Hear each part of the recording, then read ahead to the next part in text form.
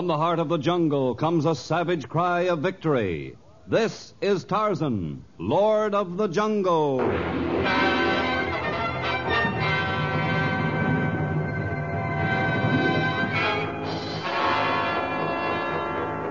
From the black core of dark Africa, land of enchantment, mystery, and violence, comes one of the most colorful figures of all time, transcribed from the immortal pen of Edgar Rice Burroughs. Tarzan, the bronzed white son of the jungle. And now, in the very words of Mr. Burroughs, the story of Jungle Heat.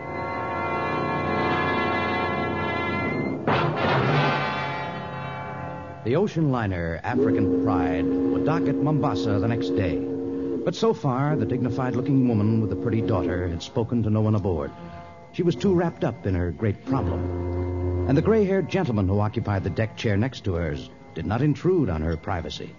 His mind was well occupied with the problem, too. They might never have spoken if a rough sea had not suddenly caused the deck to heave, sending the gentleman's teacup flying.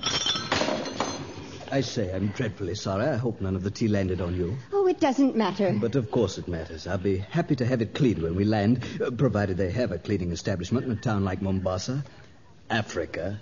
You don't care for Africa? I should say not. I was there once as a young man. Beastly place. Then why are you returning? Business, business I'd give a pretty penny to be clear of. It's rather a complicated matter. Well, I'm sorry. I didn't mean to pry. Not at all. I volunteered the information. It's rather an interesting story, as a matter of fact. A certain Lord Greystoke and his wife, the Lady Alice, were marooned in Africa many years ago. Uh, unable to find their way back to civilization, they built a cabin, settled down, and had a child in the heart of the jungle. I think I remember reading something about it. Quite. It received a great deal of notoriety, uh, especially when the whole story came out years later. I- It seems a band of savage apes killed Lord and Lady Greystoke, uh, took the baby, and raised it. He spent most of his life in the African jungles, but nevertheless, he is the heir to the Greystoke title and the family fortune. How lucky for him. I hope I can make him realize it. My purpose in going to Africa is to persuade him to return to England with me and take his rightful place in British society. You see, I've recently been appointed solicitor for his late father's estate. Then you're a lawyer. To an American, a lawyer. To a Britisher, a solicitor. Uh, forgive me for having overlooked the social amenities. My card, madam. Hugh Hutchins, Esquire, solicitor, Brook Street, Mayfair. Quite. Mm-hmm. I'm Louise Wells, and as you surmised, I'm an American. My daughter and I are taking a trip around the world. I've noticed your daughter. Extremely attractive girl. She can't be much of a sailor, though. She hardly pokes her nose out of your cabin. Mm, she's being a martyr.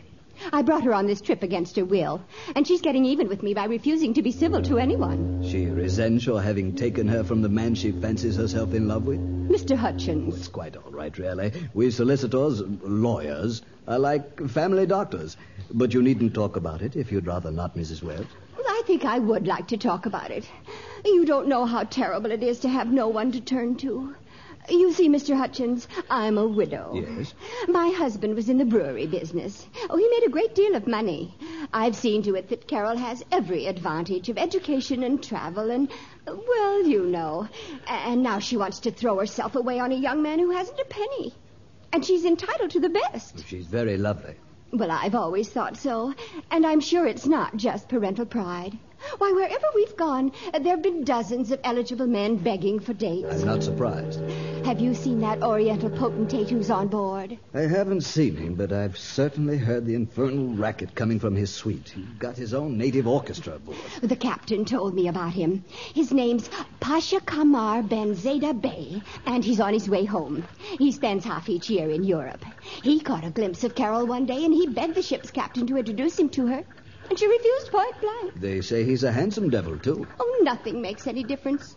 She won't have anything to do with any of the men who admire her. She may change her mind if she sees one who appeals to her. Hmm, I do hope it's the right one this time. I suppose you'd like one with a title, a fortune, and perhaps a villa on the Riviera? I wouldn't mind. well, I wish you luck, Mrs. Wells. And I wish you luck. I hope you're successful in getting your English lord to quit the jungle in favor of Mayfair. Oh, I'm not worried. I'll be gentle and persuasive at first, but if that doesn't work, I'm not without ingenuity.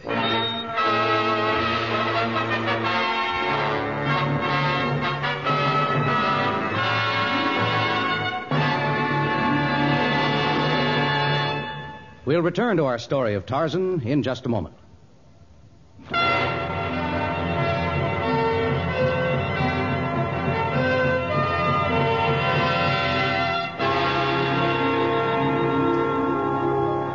Far from the port where the African Pride was docking, Tarzan crouched motionlessly in the crotch of a tree.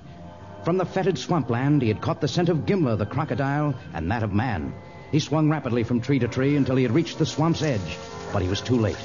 Over a hundred yards from him lay an exhausted man who grasped in vain for a hold on a slime covered rock, and the crocodile was only a few feet from its intended victim.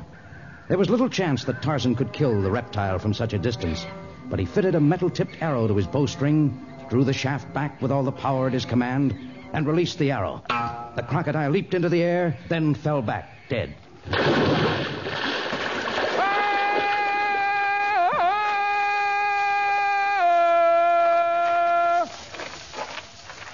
Now, to get that poor creature out of that foul quagmire. I've come to save you.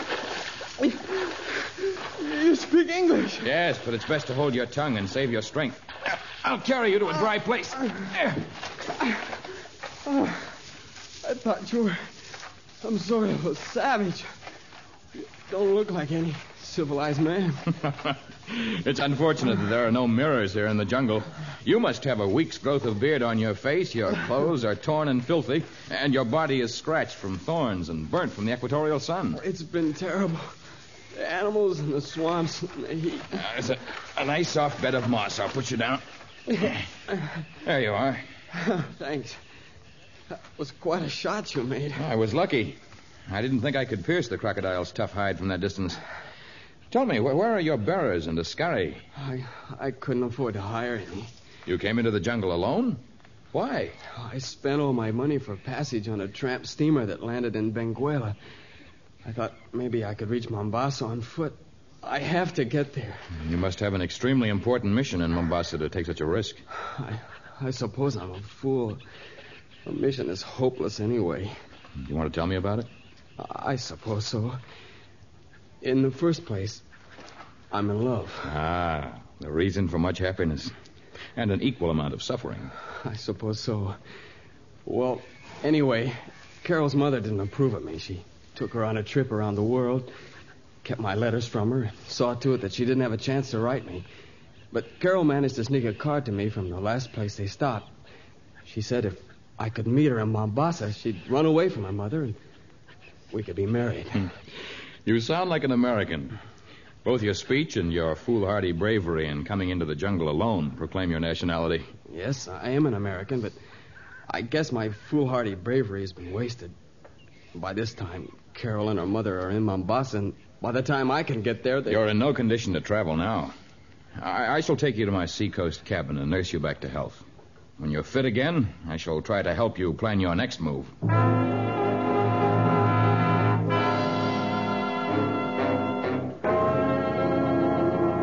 Tarzan carried the young man through the sweltering jungle. And almost at the same time, the heat had begun to make a change in Hugh Hutchins, Esquire, the ordinarily imperturbable British solicitor. He strolled back and forth in a small heat drenched hotel room in Mombasa. Africa. Why he has to live in this miserable country, I'll never know. Well, it's about time. Good afternoon, Mr. Hutchins. I'm Mr. Fitzhugh, the manager of the hotel. You sent for me? I certainly did. Come in. Yes, of course. I do hope you're finding everything satisfactory. I am finding everything most unsatisfactory. In the first place, I want that infernal music stopped. I'm afraid that's quite impossible. It comes from the suite of the Pasha Ben Zayda Bey. I might have known. Uh, I'm sorry there's nothing I can do about the music. But you see, when the Pasha stops at Mombasa, he occupies a whole floor in the hotel. He's one of the richest and most powerful men in Africa. If there's anything else I can do, I don't suppose there's anything you can do about this infernal heat. We are hoping for some sort of air conditioning unit in a few years. Well, I can't wait a few years for an air conditioning unit nor to find the man I've come to Africa for. If I can be of any assistance, Perhaps you can. His name is John Clayton, Lord Greystoke. The only address I have is Africa. it's quite an address. But it so happens that Lord Greystoke is known to practically everyone, from Cape Town to Cairo.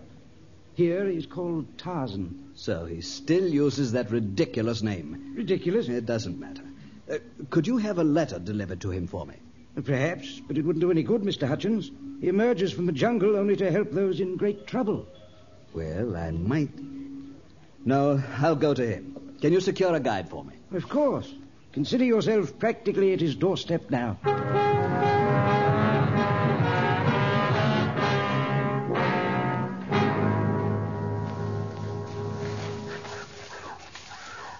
How much farther do we have to go through this miserable jungle?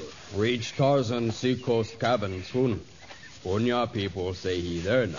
Well, I certainly hope so. This infernal heat is quite unbearable. It's hot time here. Not always so hot. How anyone in his right mind could choose the jungle in preference to a country place in Sussex is more than I can figure. The explanation is really quite simple. Who are you? Where did you come from? From the tree above you. No one draws this close to my cabin without detection. It's Tarzan. You're Lord Greystoke? As the natives said, I am Tarzan. But I mean really. You are John Clayton, son of the late Lord and Lady Greystoke? Yes. Allow me to present my card. Hugh Hutchins, solicitor, Brook Street, Mayfair, London, of course. of course. Uh, is there somewhere we could talk? My cabin is being occupied by a man suffering from exhaustion, but it's highly unlikely that the panthers and lions will disturb us here. Lord Greystoke, I've come thousands of miles to persuade you to give up this primordial life and return to London. Why? The solicitor who previously managed your late father's affairs passed away a short time ago, and I've recently taken over his duties. I found a vast fortune just lying useless. Well, that is wrong. Go ahead, use it. What? Feed the poor. Take care of the sick. Build homes for the homeless. But there are government agencies to handle such matters. Then send the money here. We have many poor who are not taken care of by the government. That's quite out of the question. The Bank of England would never approve the use of such a sum of money for that purpose. Really, Lord Greystoke, you must return. I shall have to be quite firm about it. Mr. Hutchins, how much do you earn as solicitor of my, uh, my fortune? Very little while it remains so completely inactive. I see. But that isn't the point. The crux of the matter is that it's criminal for a titled English gentleman to dress and live like a savage. Mr. Hutchins, I remain here through choice. I have visited England and I found much about it to my liking, but my heart is here in the jungle. But really, Lord Greystoke. I would suggest that you return home as soon as possible. Goodbye. Tarzan, go. Into the trees like one of those apes who raised him.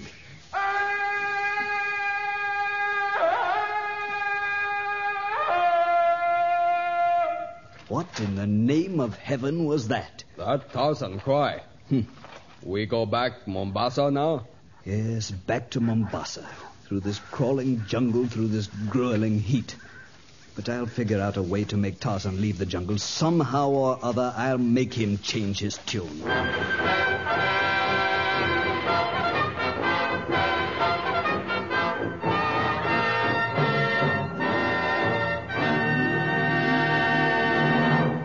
Exciting conclusion of Jungle Heat in just a moment.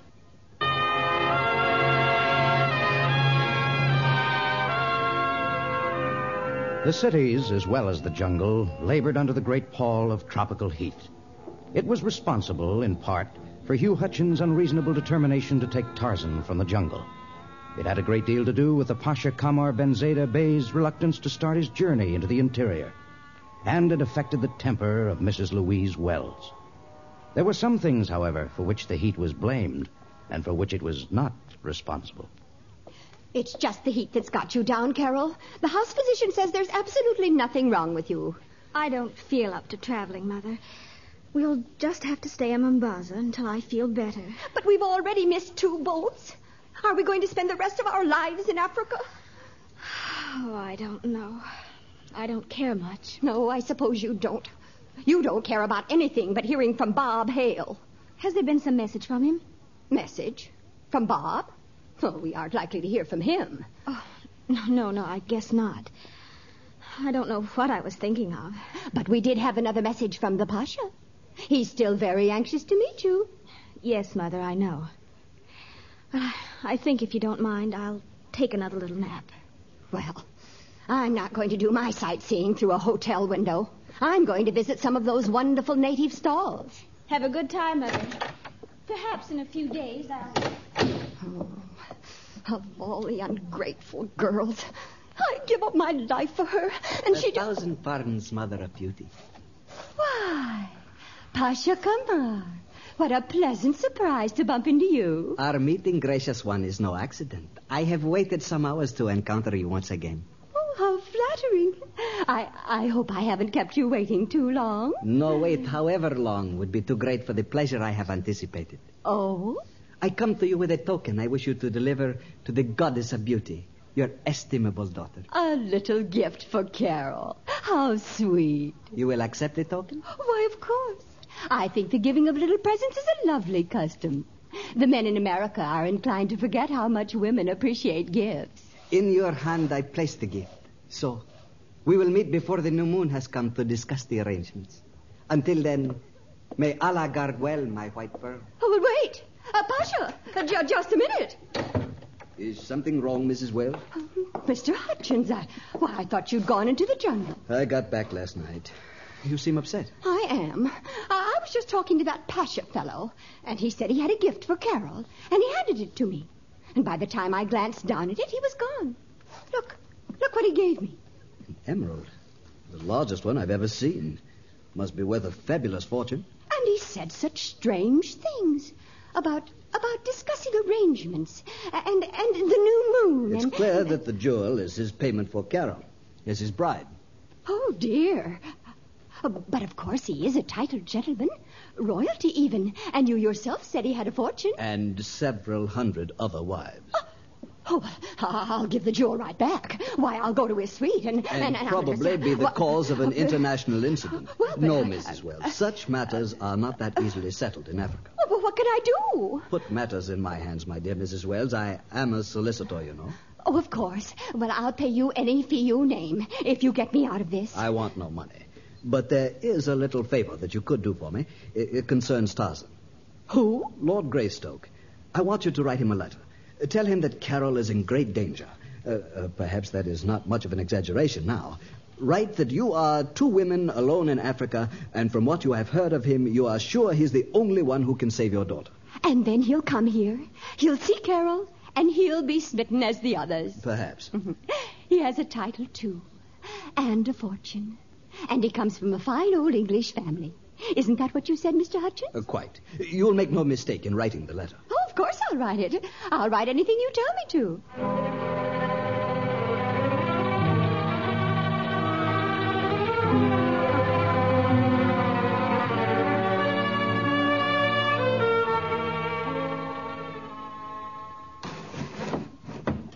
Tarzan? Yes, Bob. I thought I'd find you still asleep. I heard all that shouting and confusion outside a few minutes ago. Tried to reach the window to see what was happening, but I couldn't quite make it. Uh, some Punya warriors arrived with a letter for me. The coming of a Barua in the jungle is quite an event. I don't wonder if I were the native mailman. I, I think it was quite an event if I managed to deliver a letter here. It is dangerous even for those who know the jungle well. And that is why I am angry. Oh? A week ago, while you were hovering between life and death, a gentleman came into the jungle to persuade me to give up my life here and go to England. I refused. And now he sends a letter designed to bring me as far as Mombasa, the first leg of the journey to England. Well, if he couldn't persuade you in person, how could he expect a letter to do the trick? Oh, the letter doesn't bear his signature, of course, but the ruse is obvious. Listen to this. Hmm. My dear Tarzan, you do not know me since I am an American woman, Mrs. Louise Wells, Mrs. Wells. who has only recently arrived in Africa. But having appealed to the native police and many others, I am informed that you are the only man in the world who can help me in the present situation, which involves the safety and perhaps the very life of my daughter, Carol. Carol. Please come at once to Mombasa. I am at the Grand Hotel and I await your arrival. Ah. A melodramatic letter that Hutchins has dictated in the hope that I'd be brought. Oh. Tarzan, that's Mrs. Wells, Carol's mother, my Carol, and she's in danger. I doubt that she's in danger, Bob. Since the letter refers to your Carol, I shall go to Mombasa. I'm going with you. Oh, you couldn't drag yourself as far as the window a moment ago. How do you propose to travel to Mombasa? I'll make it. I have to. I'll make a bargain with you, Bob. You remain here. There are enough provisions to keep you until my return. But, Tarzan, can't I you understand- said I said I'd make a bargain with you. You remain here without further foolish arguments, and when I return, I shall bring your Carol with me.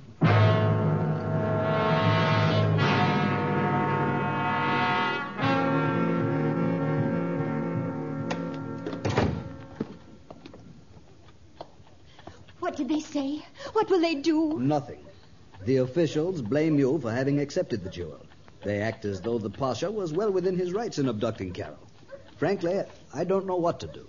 Perhaps if you're Lord Greystoke. Yes, maybe perhaps Tarzan can help. If only the letter brings him. The letter did bring me, Mr. Hutchins. Tarzan, the, the way you pounce out of nowhere, really. I hardly pounced. I've been standing here for several minutes. I wished to learn if the letter was a ruse. Apparently, it was mainly false when it was written, but it has come true. Carol is in danger. Will you help us, Tarzan? You mean. You mean you're asking help from this naked savage? This is Lord Greystoke, Mrs. Wells. Mrs. Wells, despite your rudeness, I shall help you. Come with me, both of you. Where are you taking us? The caravan of the Pasha moves slowly because of its great size and because of the many women in the entourage. We can easily overtake it within a few hours. But how? I shall engage the services of three fleet camels. But. But I don't know how to ride a camel. You will know by the time our journey is over.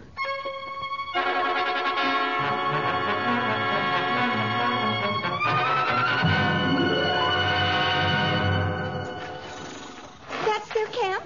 Right ahead. They have not all retired for the night yet, Mrs. Wells. Lower your voice, please. Well, I never. It wouldn't be well for them to hear us, Mrs. Wells. Now then, Tarzan, your plan of campaign. It will require exact timing and bravery. Mrs. Wells, you will walk from the brush first, and you will go directly to the large bayet at the center of the camp. Now, do not say a word to the sentries.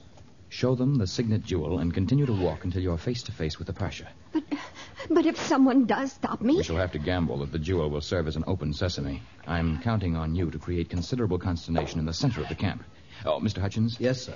As soon as you see Mrs. Wells hand the jewel to the Pasha or disappear into the bayet, you will proceed to the makeshift corral at the far end of the encampment, where their animals are tethered. Yes. You will fire your gun into the air until the magazine is empty. By that time, the animals should take care of the confusion at that end of the camp.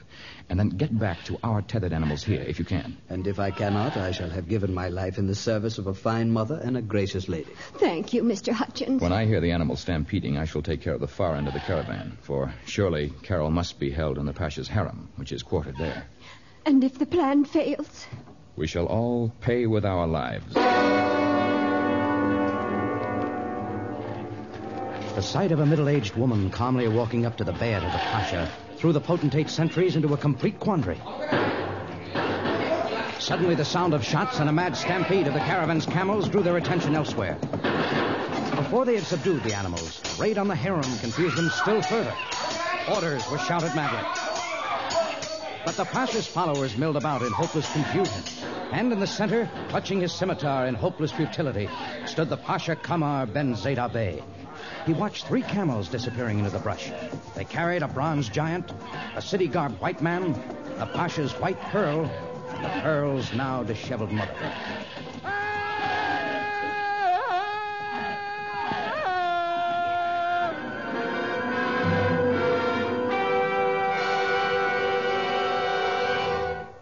But this is a shack in the jungle. You haven't led us back to Mombasa. I must have taken a wrong turn. Mother, there's no sense in being upset. This man did save us. For a worse fate, I dare say. Oh, you do something. What can I do, my dear? In England, he is a lord. Not that I have any hopes of taking him back now, but here he's undisputed monarch. Well, if he and the Pasha are examples of nobility, I've been wrong all along. Carol, I apologize.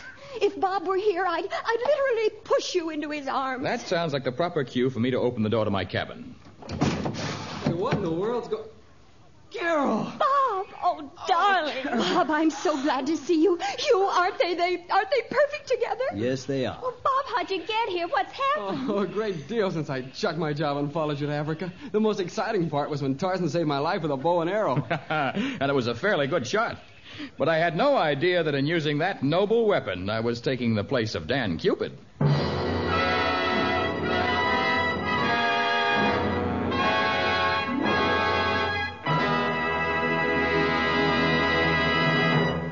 In just a moment, a preview of our next story of Tarzan.